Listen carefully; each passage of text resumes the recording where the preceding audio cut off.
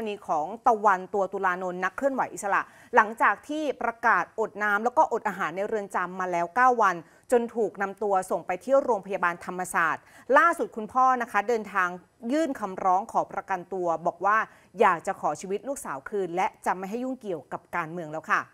ไปดูภาพบรรยากาศบริเวณด้านหน้าศาลอาญาถนนรัชดาพิเศษ มีประชาชนกลุ่มหนึ่งนะคะนำดอกทานตะวัน พร้อมรูปวาดของนางสาวทานตะวันตัวตุลานนท์มาแสดงออกเชิงสัญลักษณ์ ให้กำลังใจกับครอบครัวของเธอค่ะ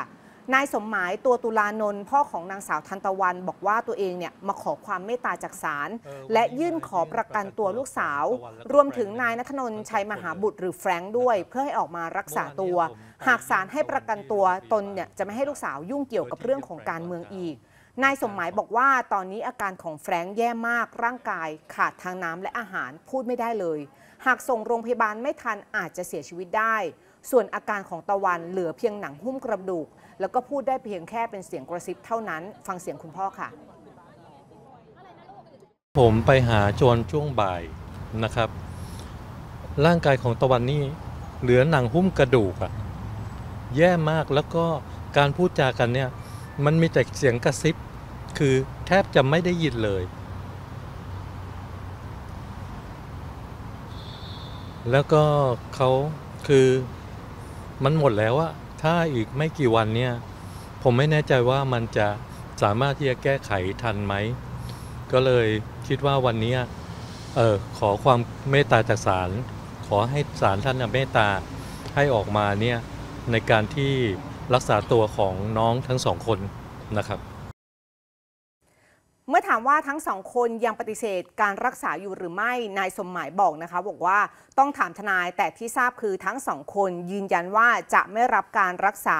ไม่รับการให้น้ำเกลือ จึงอยากคุยกับทนายและแพทย์ว่าให้รักษาชีวิตของลูกสาวไว้ก่อน วันนี้จะใช้หลักทรัพย์ประกันตัวแต่ยังไม่ทราบนะคะว่ามีจำนวนเท่าไหร่และเป็นครั้งที่ 3 ในการยื่นประกันตัว ในความผิดตามมาตรา 116 นายสมหมายยืนยันว่า ทั้งคู่เนี่ยจริง ๆ ไม่มีพฤติกรรมหลบหนี และไม่มีแรงพอจะไปยุ่งเกี่ยวกับพยานได้แน่นอน นายสมหมายยังขอชี้แจงวันเกิดเหตุด้วยนะคะ บอกว่าลูกสาวเนี่ยตั้งใจไปงานศพเพื่อนในกลุ่มทะลุวัง และเป็นวันเผาพอดี ลูกสาวไม่ได้ตั้งใจจะป่วนขบวนเสด็จ วันแรกที่เห็นคลิปก็ได้ว่ากล่าวตักเตือนไปแล้ว ไม่คิดว่าเรื่องราวจะบานปลายขนาดนี้ค่ะ แต่ประเด็นนี้เนี่ยก็คือเรื่องขอประกันก็ส่วนให้ประกันเป็นอำนาจศาลถ้าคุณพ่อกังวลเรื่องของการ นะฮะที่ลูกเนี่ยอาจจะเป็นอันตรายค่ะเรื่องของสุขภาพ คุณพ่อก็ต้องไปคุยกับลูก เพราะว่าเรื่องอดอาหารเนี่ยลูกทำเองนะฮะค่ะก็เป็นเรื่องของสุขภาพคุณพ่อก็ต้องไปวิงวอนลูกสาวตัวเองด้วย ว่าให้กินข้าวเถอะ ดื่มน้ำเถอะ เพราะตอนเนี้ยนะเรื่องของการอดอาหารลูกสาวทำเองล้วนๆนะครับ